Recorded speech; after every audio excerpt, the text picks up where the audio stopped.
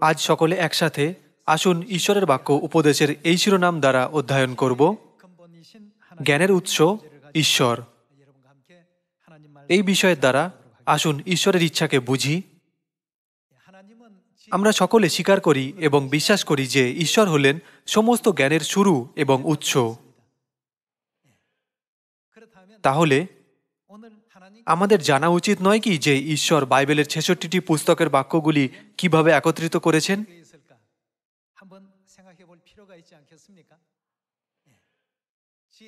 এবং জানা উচিত নয় কি যে ঈশ্বরের দ্বারা দেওয়া এই বাক্যগুলি জ্ঞানের এই উৎস কি বলে? বাইবেল জ্ঞানে পরিপূর্ণ। ঈশ্বর আমাদের রহস্যময় এবং গভীর উপায়ে দিক নির্দেশ দিয়ে উদ্ধারের দিকে নিয়ে যান। যা মানুষের বোঝার এবং কল্পনার বাইরে। এই ধরনের ঈশ্বরের জ্ঞানের বিষয় বাইবেলের ছেষট্টিটি পুস্তকে লেখা আছে।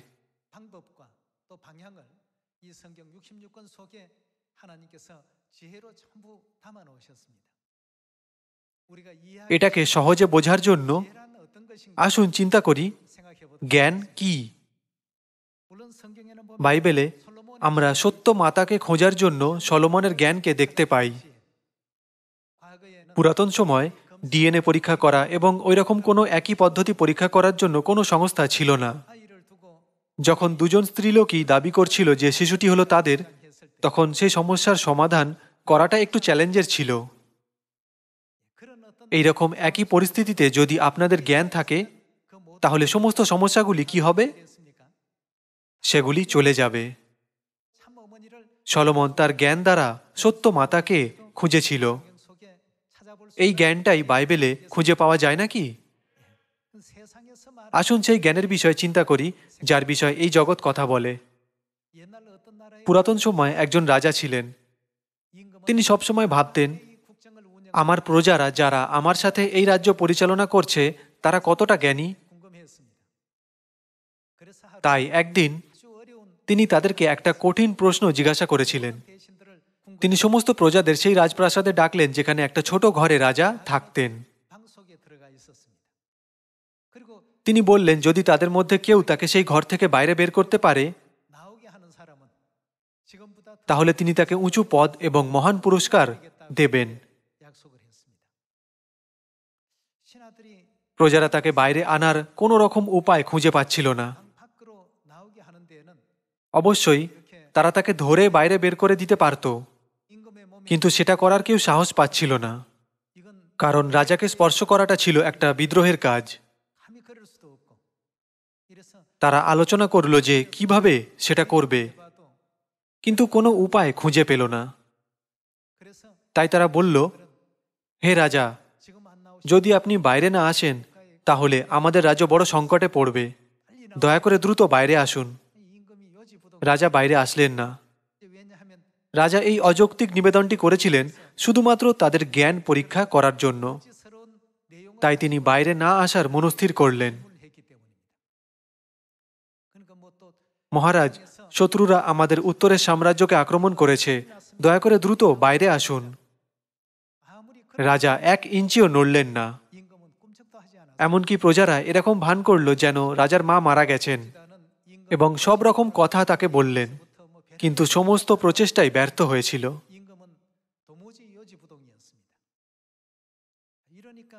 রাজা খুবই হতাশ হয়েছিলেন। এমন কেউ কি নেই আমাকে বের করার মতো যার কাছে জ্ঞান আছে? কীভাবে তারা এই রাজ্যের উপর রাজত্ব করবে?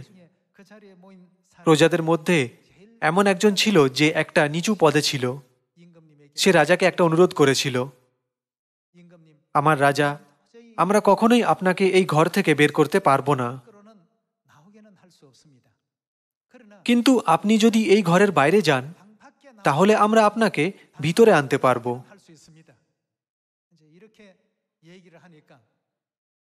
রাজা ভাবলেন হ্যাঁ এ আবার কি কথা বলছে? আমি এই ঘরের বাইরে যাব না।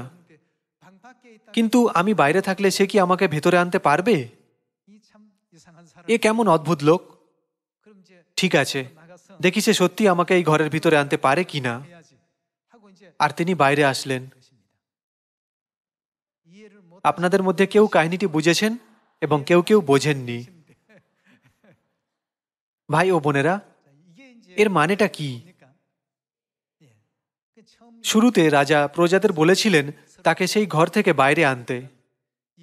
বিষয়টা ছিল তাকে বাইরে আনার প্রচেষ্টা করা।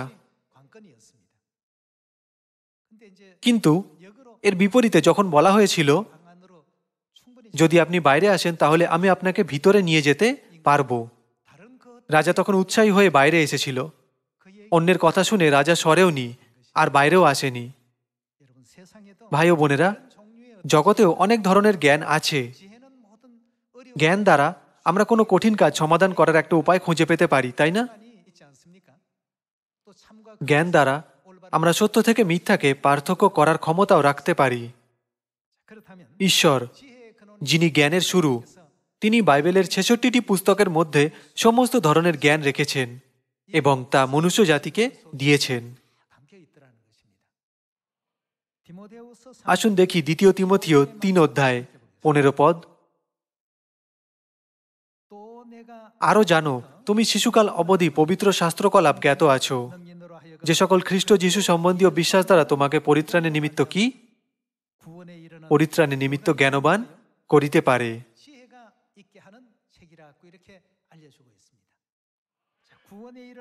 ষোলো পদ। ঈশ্বর নিঃশ্বাসিত প্রত্যেক শাস্ত্রলিপি আবার শিক্ষার, অনুযোগের, সংশোধনের, ধার্মিকতা সম্বন্ধীয় শাসনের নিমিত্ত উপকারী। যেন ঈশ্বরের লোক পরিপক্ক সমস্ত সৎকর্মের জন্য সুসজ্জীভূত হয়।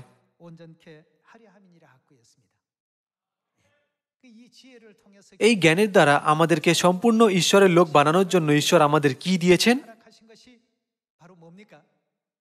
বাইবেল সেই জন্য আমাদের ঈশ্বরের সন্তানদের অবশ্যই জগতে থাকাকালীনও জ্ঞানী হতে হবে। বাইবেলের ছেষট্টিটি পুস্তকের মধ্যে ঈশ্বর সমস্ত ধরনের জ্ঞানকে রেখেছেন, যাতে আমরা আত্মিক যুদ্ধেও জয়লাভ করতে পারি। আসুন কলসীয় দুই অধ্যায় দুই পদে যাই। যেন তাহাদের হৃদয় আশ্বাস পায়, তাহারা প্রেমে পরস্পর সংশক্ত হইয়া জ্ঞানের নিশ্চয়তা রূপ সমস্ত ধনে ধনী হইয়া উঠে যেন ঈশ্বরের নিগুড় তত্ত্ব অর্থাৎ খ্রিস্টকে জানিতে পায়। ইহার কার? খ্রিস্টের মধ্যে জ্ঞানের ও বিদ্যার সমস্ত নিধি কি? গুপ্ত রহিয়াছে। অন্য শব্দে, যারা ঈশ্বরের সাথে সাক্ষাৎ করে, তারা জ্ঞানী হয়ে ওঠে। আমরা ঈশ্বরের সামনে দাঁড়িয়ে আছি। অধিক জ্ঞানী হওয়ার উপায় হল, নিজের চিন্তা ও একগুয়েমির উপর জোর দেওয়ার পরিবর্তে ঈশ্বরের সমস্ত বাক্যকে অনুসরণ করা, তাই না? কেন? কারণ ঈশ্বরের মধ্যে কি গুপ্ত আছে? ঈশ্বরের মধ্যে জ্ঞানের ও বিদ্যার সমস্ত নিধি গুপ্ত আছে। সেই জন্য ঈশ্বরের দ্বারা পরিচালিত পথের বাধ্য হওয়া, ঈশ্বরের পরিচালিত দিককে অনুসরণ করা এবং ঈশ্বরকে খুশি করার মতো জিনিস অভ্যাস করাই হল সবথেকে অনুগ্রহপূর্ণ এবং জ্ঞানী উপায়।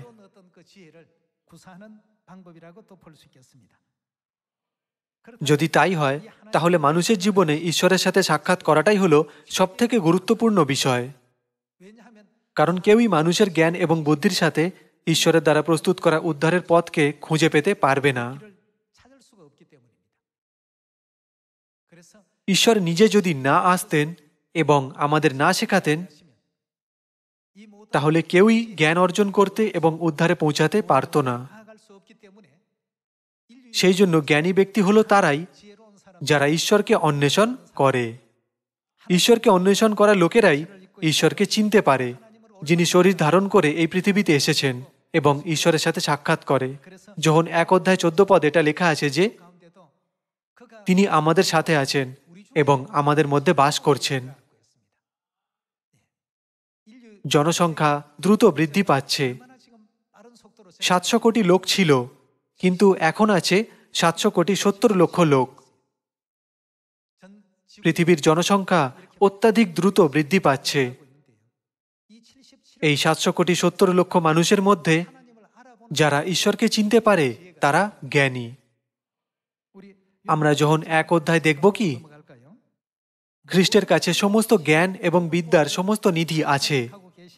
আমরা খ্রিস্টকে জানতে পারলে আমাদের জীবন জ্ঞানে পূর্ণ হতে পারবে। আসুন যোহন এক অধ্যায় দশ পদে যাই। তিনি জগতে ছিলেন এবং জগৎ তাহার দ্বারা হইয়াছিল। তিনি হলেন এই জগতের সৃষ্টিকর্তা। জগৎ তারই দ্বারা তৈরি হয়েছিল। আর জগৎ তাহাকে কি? তাহাকে চিনিল না। তারা যতই বড় করে তাদের চোখ খুলুক না কেন, স্বর্গের জ্ঞান ও বিদ্যা ছাড়া এবং ঈশ্বরের দেওয়া উদ্ধার ছাড়া কেউই কখনো ঈশ্বরকে চিনতে পারবে না। আর জগৎ তাহাকে চিনিল না। এগারো পদ, তিনি নিজ অধিকারে আসিলেন, আর যাহারা তাহার নিজের, তাহারা তাহাকে গ্রহণ করিল না। কিন্তু যত লোক তাহাকে গ্রহণ করিল, সেই সকলকে যাহারা তাহার নামে বিশ্বাস করে, তাহাদিগকে তিনি ঈশ্বরের সন্তান হইবার ক্ষমতা দিলেন।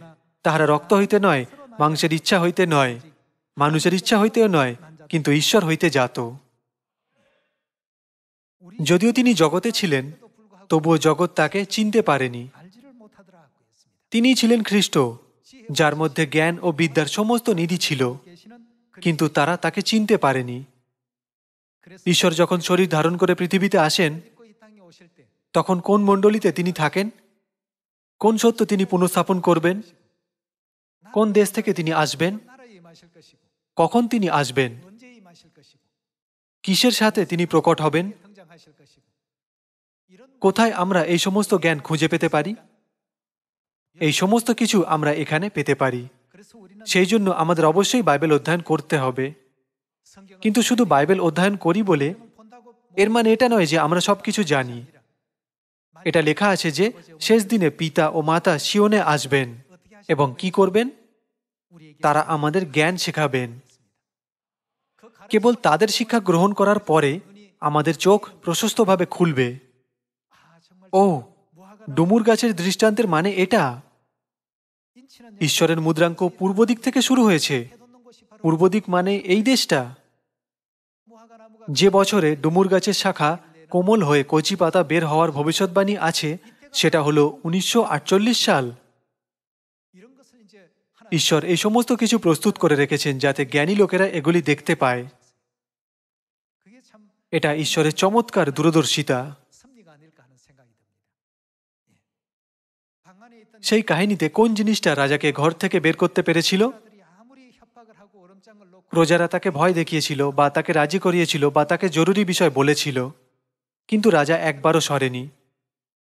কিন্তু যখন একজন প্রজা ভদ্রভাবে তাকে এসে বলেছিল, হে রাজা আমরা আপনাকে এই ঘর থেকে বের করতে পারব না। কিন্তু যদি বাইরে থাকেন, তাহলে আপনাকে আমরা ভিতরে আনতে পারব। রাজা চিন্তা করেছিলেন, ও, সত্যি? আমি দেখতে চাই, তুমি আমাকে এই ঘরের ভিতরে আনতে পারো কি না? এবং তিনি ঘরের বাইরে আসায় সেই খেলা শেষ হয়ে গিয়েছিল। রাজাকে সেই ঘর থেকে বাইরে আনার জন্য এটা একটা মহৎ জ্ঞান ছিল নাকি? ঈশ্বর উদ্ধারের সমস্ত জ্ঞানগুলি বাইবেলের ছেষট্টিটি পুস্তকের মধ্যে রেখেছেন। জ্ঞানের উৎস কে? সমস্ত জ্ঞান এবং বিদ্যার সমস্ত নিধি কার হাতে আছে? তিনি হলেন আমাদের খ্রিস্ট, আমাদের ঈশ্বর। যারা ঈশ্বরের সাথে সাক্ষাৎ করেছে, তারা সমস্ত গুপ্ত জ্ঞান এবং বিদ্যা জানতে পারবে কি পারবে না? হ্যাঁ তারা পারবে।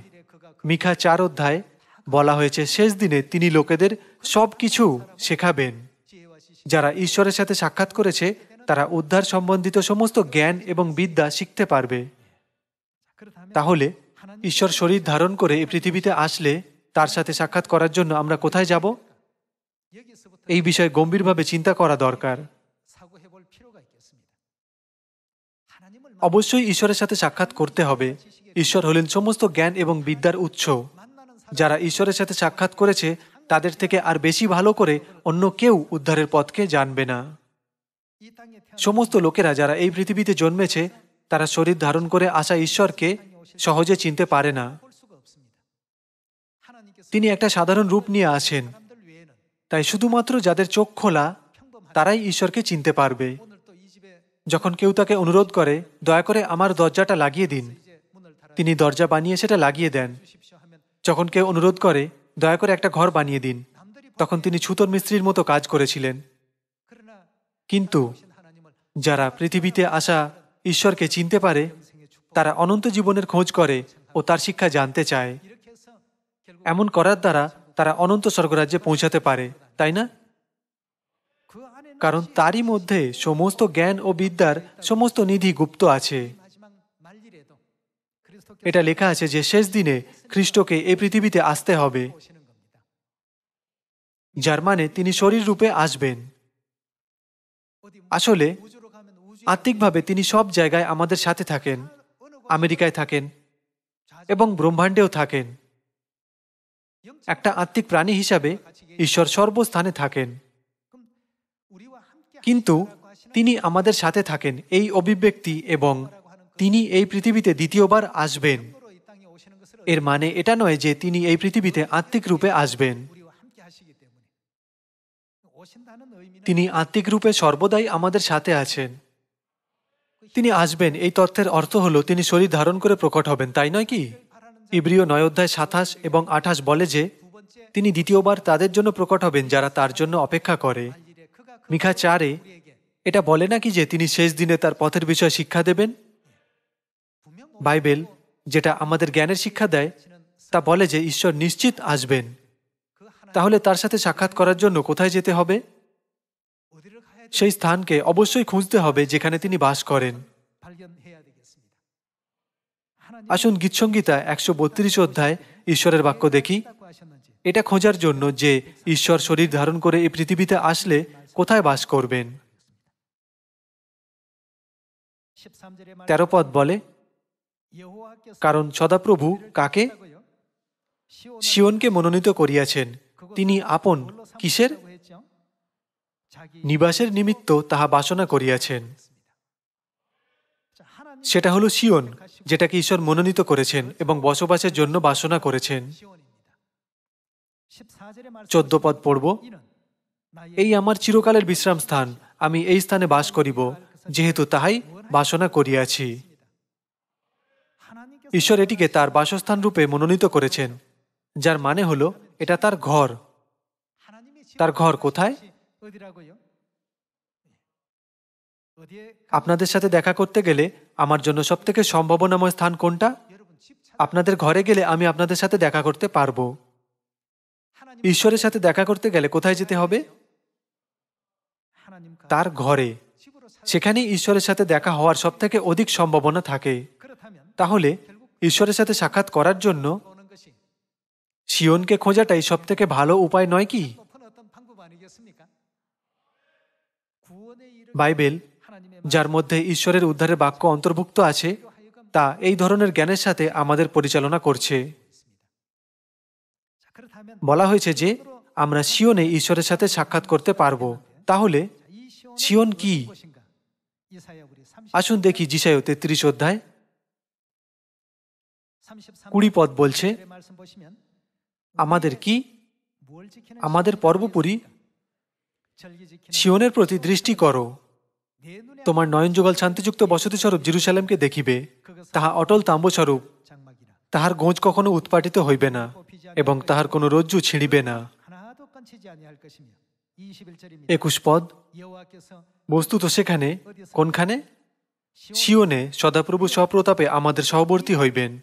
তাহা বৃহৎ নদ, নদী ও বিস্তীর্ণ স্রোতমালা স্থান, তথায় দাঁড়যুক্ত পথ গমনাগমন করিবে না ও প্রতাপযুক্ত জাহাজ তাহা পার হইয়া আসিবে না। কেননা সদাপ্রভু আমাদের বিচারকর্তা, সদাপ্রভু আমাদের ব্যবস্থাপক, সদাপ্রভু আমাদের রাজা, তিনি আমাদিগকে কি? আমাদিগকে পরিত্রাণ করিবেন। ঈশ্বর কোথায় আমাদের পরিত্রাণ দেবেন? বাইবেল বলে যে ঈশ্বর সিওনে বাস করবেন এবং সেখানেই পরিত্রাণ দেবেন। আত্মিকভাবে শিওন কি? ঈশ্বরের পর্ব ছাড়া একটা স্থান কি শিওন হতে পারে? না, হতে পারে না। লেবীয় পুস্তক তেইশ অধ্যায় পর্বের বিষয়ে ব্যাখ্যা করে। এগুলি হল সদাপ্রভুর নির্ধারিত পর্ব। এবং সাপ্তাহিক পর্ব কি? বিশ্রাম দিন। কিন্তু আজ জগতে চার্চগুলি রবিবারের আরাধনা পালন করে। সেগুলি শিওন নাকি না? ঈশ্বর সেখানে বাস করেন না। আমরা স্পষ্ট বিচার করতে পারছি নাকি যে ঈশ্বর সেখানে থাকেন না? প্রথম বার্ষিক পর্ব কি? নিস্তার পর্ব। তারপর তাড়িশূন্য রুটির পর্ব। তারপর প্রথম ফসলের পর্ব। সপ্তাহের পর্ব, তারপর তুরিধ্বনির পর্ব, প্রায়শ্চিত্তের দিন, তারপর কুটির পর্ব। লেবীয় পুস্তক তেইশ অধ্যায় ঈশ্বরের পর্বগুলিকে ব্যাখ্যা করে। এটা বলে, এগুলি হল সদাপ্রভুর মনোনীত পর্ব। আজ এই পৃথিবীতে কোন চার্চ এই পর্বগুলি পালন করে? তাহলে ভাই ও বোনেরা, আমাদের দ্রুত উপলব্ধি করা উচিত ও, চার্চ অফ গড হলো বাইবেলে উল্লেখ করা সিওন। সিওনে কে বাস করেন? ঈশ্বর বাস করেন। তাহলে যে ঈশ্বরের কাছে সমস্ত জ্ঞান ও বিদ্যার নিধি আছে, তার সাথে আমরা কোথায় সাক্ষাৎ করতে পারব? সিওনে। আমরা সিওনে ঈশ্বরের সাথে সাক্ষাৎ করতে পারব। আমরা আমাদের উদ্ধারের বিষয়ে জ্ঞান ও শিক্ষা শিখতে পারব। আমাদের অবশ্যই ঈশ্বরের পথের বাধ্য হতে হবে কারণ তিনি আমাদের উদ্ধারে পরিচালনা করেন।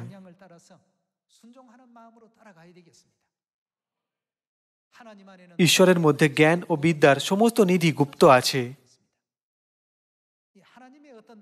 আমরা ঈশ্বরকে এবং তার জ্ঞানকে স্বীকার করতে ব্যর্থ হলে কখনো ঈশ্বরের বাক্যের বাধ্য হতে পারব না। সেই জন্য হিতোপদেশ তিন অধ্যায় বলে যে আমাদের সমস্ত পথে তাকে স্বীকার করা উচিত।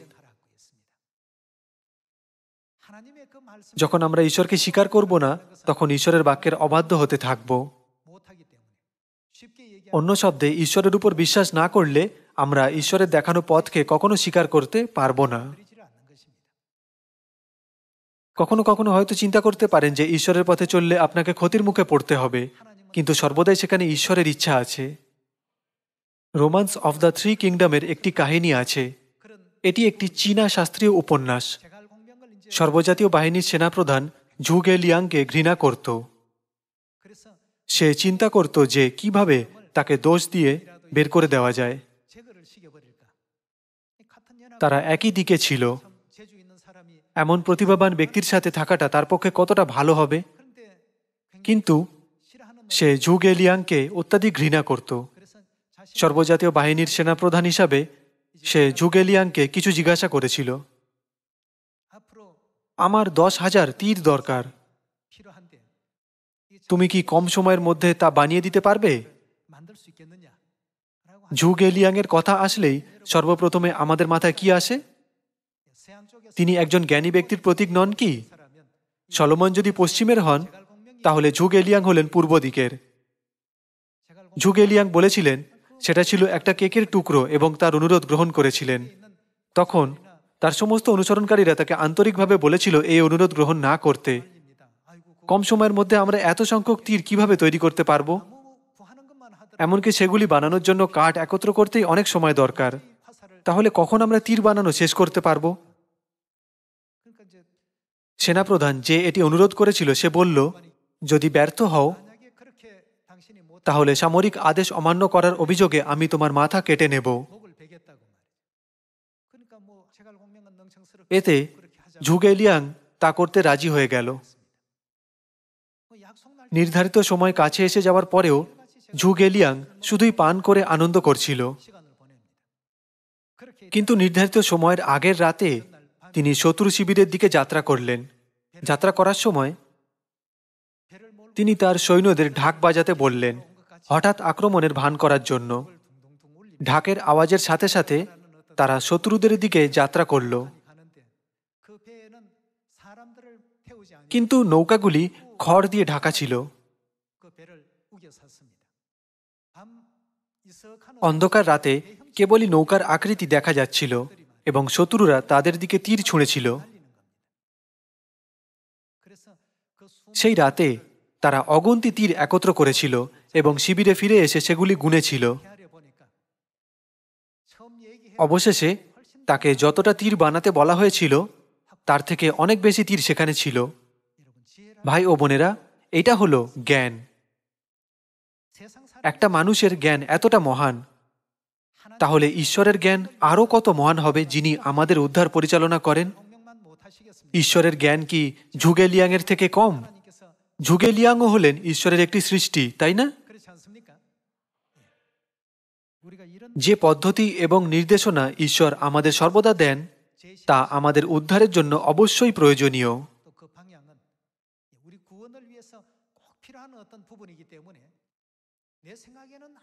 আমার দৃষ্টিকোণে এটা হবে না। এটা অত্যন্ত কঠিন বা এটা অতটা ভালো নয়। এরকম ভাবার পরিবর্তে আমাদের অবশ্যই স্বীকার করা উচিত যে জ্ঞান ও বিদ্যার সমস্ত নিধি ঈশ্বরের মধ্যে গুপ্ত আছে। হিতোপদেশ তিন অধ্যায় বলে, তোমার সমস্ত পথে ঈশ্বরকে স্বীকার করো। আমাদের অবশ্যই স্বীকার করা উচিত যে ঈশ্বর হলেন জ্ঞানের উৎস এবং উদ্ধারের ভিত্তিমূল। জিসায় তেত্রিশ অধ্যায় বলে যে, ঈশ্বরের বাসস্থান হল শিওন এবং শিওনে ঈশ্বর উদ্ধারের প্রতিজ্ঞা করেছেন। আমরা এটাও নিশ্চিত করতে পারি যে শিওন হল সেই চার্চ যেখানে ঈশ্বরের পর্ব পালন হয়। পৃথিবীতে কত চার্চ আছে যারা বিশ্রাম দিন এবং তিন সময়ের সাত পর্ব পালন করে?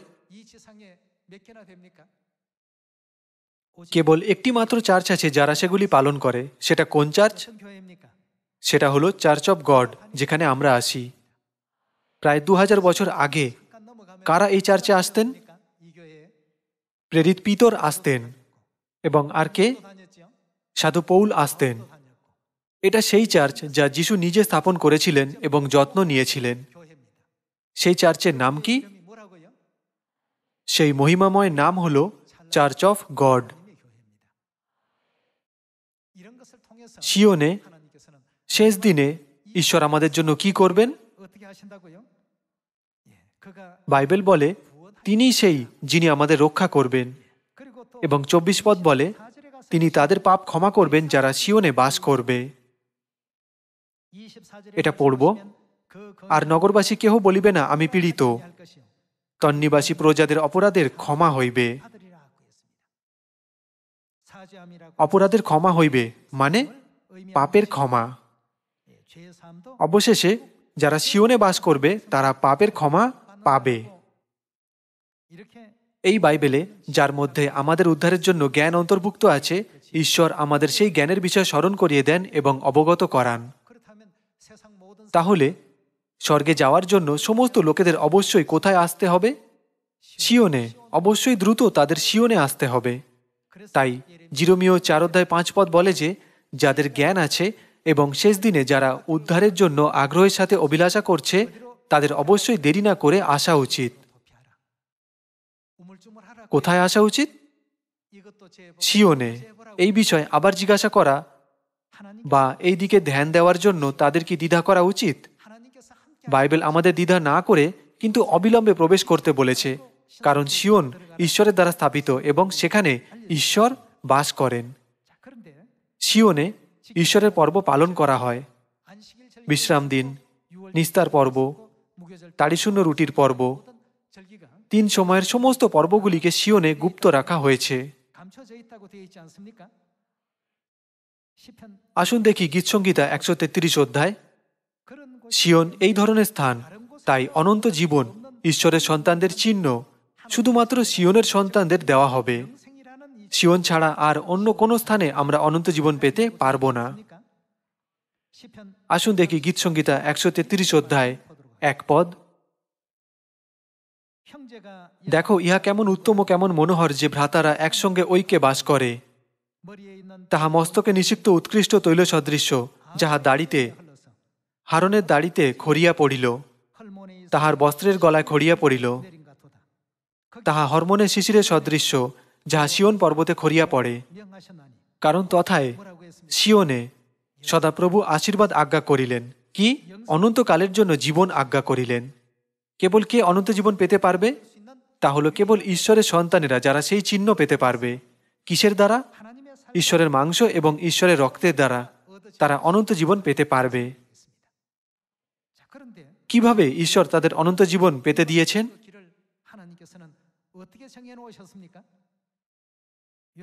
আসুন দেখি জোহন ছয় অধ্যায় তিপ্পান্ন পদ। যিশু তাহাদিগকে কহিলেন, সত্য সত্য, আমি তোমাদিগকে বলিতেছি, তোমরা যদি মনুষ্যপুত্রের মাংস ভোজন তাহার রক্তপান না করো, তোমাদিগতে জীবন নাই।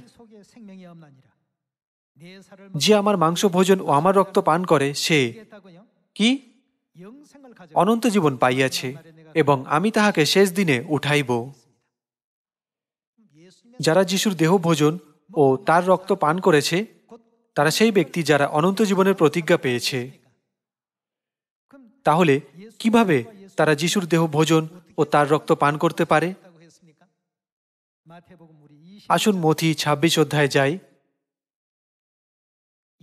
মথি ২৬ অধ্যায় সতেরো পদ পড়ব।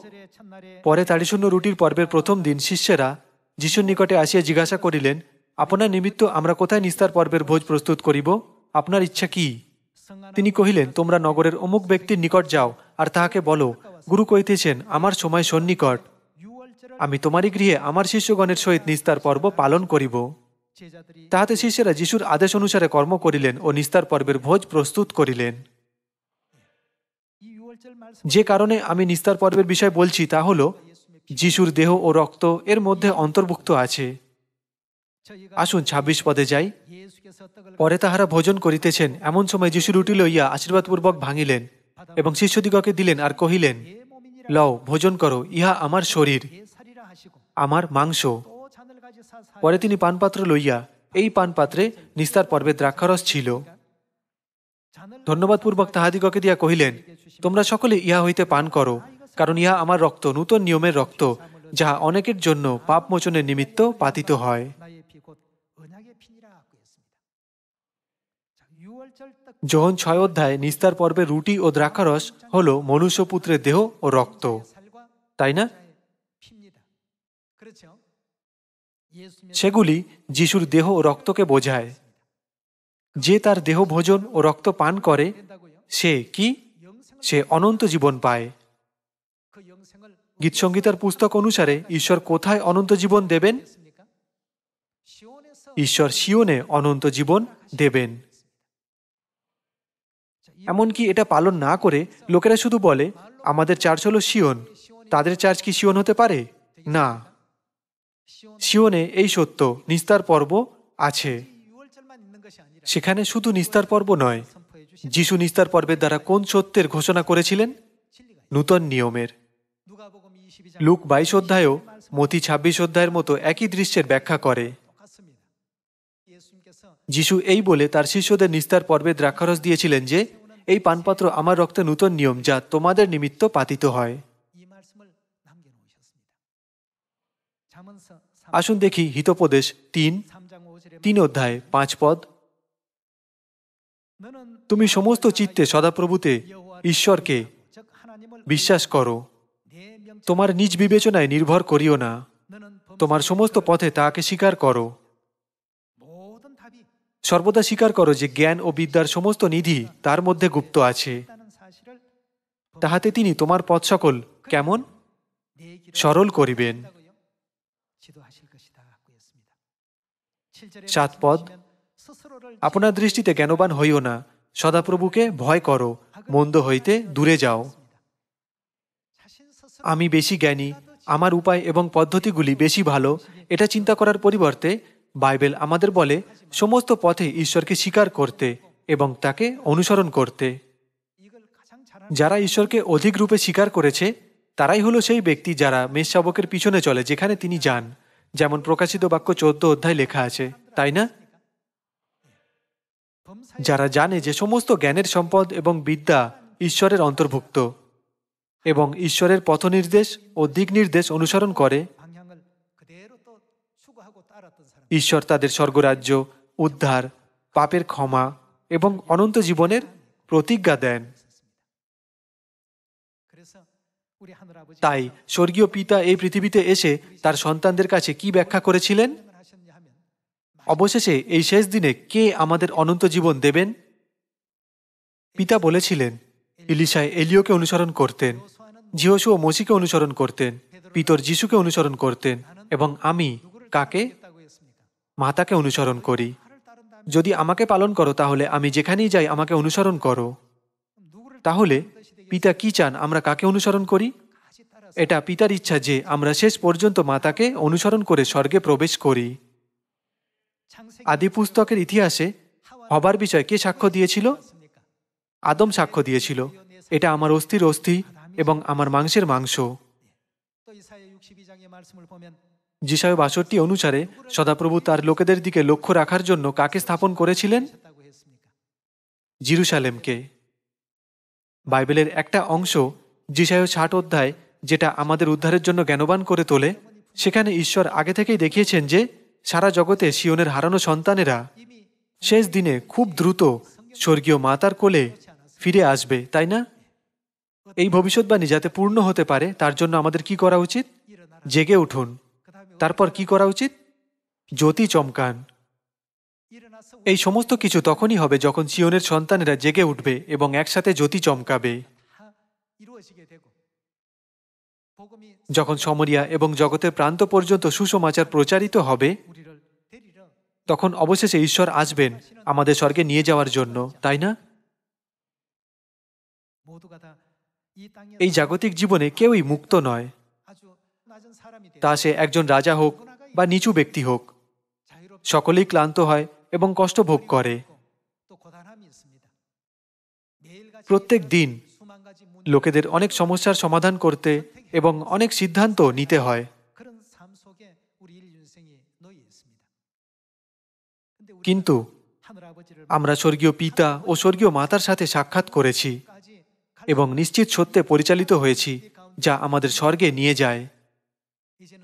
তাই আমাদের আর দ্বিধা না করা সংকোচ করে পিছিয়ে আসা হতাশ হওয়া বা নিরাশ হওয়া উচিত নয়। কিন্তু জেগে উঠে অন্ধকারকে পরাজিত করার জন্য শক্তিশালীভাবে সত্যের জ্যোতি চমকানো উচিত তারপরেই সুষমাচার সমরিয়া ও জগতের প্রান্ত পর্যন্ত প্রচারিত হবে এটা সমস্ত লোকেদের কাছে পৌঁছে যাবে শিওনের লোকেরা এটা শুনলে তারা সকলে পিতা ও মাতার কোলে ফিরে আসবে অবশ্যই যারা শিওনের লোক নয় তারা সুসমাচার শুনলেও কোনো প্রতিক্রিয়া দেখাবে না। আমরা সুসমাচার প্রচার করছি কারণ এমন লোকেরা আছে যারা শুনবে এবং পিতা ও মাতার কোলে ফিরে আসবে, তাই না? আমি চাই আপনারা এই আগত সপ্তাহে যেন অনেক ফল উৎপন্ন করুন। আশা করছি সারা জগতের আমাদের শিওনের ভাই ও বোনেরা শেষ পর্যন্ত সযত্নে ঈশ্বরের মহিমাকে প্রকাশ করবেন। আমি আজকের উপদেশ সমাপ্ত করছি। অনেক ধন্যবাদ।